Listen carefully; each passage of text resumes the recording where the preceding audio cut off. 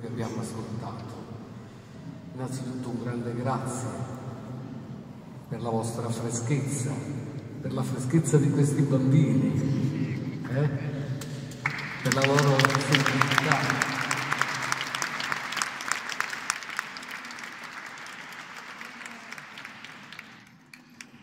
come sono naturali, come sono semplici.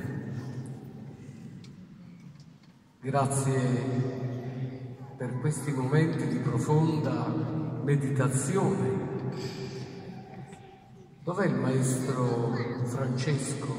Se n'è andato il maestro Francesco. Il maestro Francesco dov'è? Se n'è scappato. Eccolo qua. No, perché dobbiamo ringraziarlo perché Francesco ha reso ragione di chi è il vero Babbo Natale. Perché il vero Babbo Natale è San Nicola, che poi al nord non lo sanno chiamare e lo hanno chiamato Santa Claus. Ma è San Nicola che portava i doni ai bambini. Bambini, Babbo Natale si chiama San Nicola. Eh? Una cosa bella.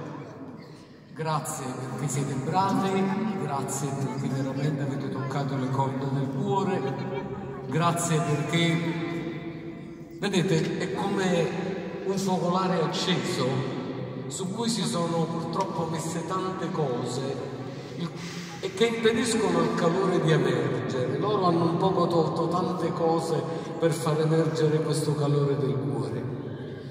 Una sola considerazione non l'abbia con me Gabriele. Lui vorrebbe far nascere tanti alberi a Sessa, eh? Tantissimi alberi. Io ho scritto una lettera alla comunità in cui ho chiesto, vengo dalla montagna, immaginate se a me non piacciono gli alberi, ma com'è bello il presepio. È fatto di volte, è fatto di persone.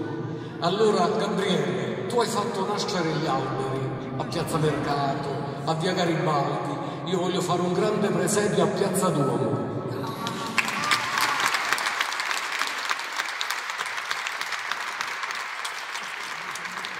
Sapete perché? Perché a Piazza Duomo ci sono gli occhi di questi bambini, questi.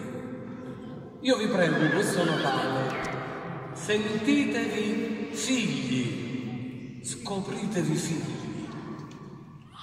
Perché se ci scopriamo figli, scopriamo quello che loro ci insegnano. Da loro non possiamo prendere nulla, possiamo solo dare.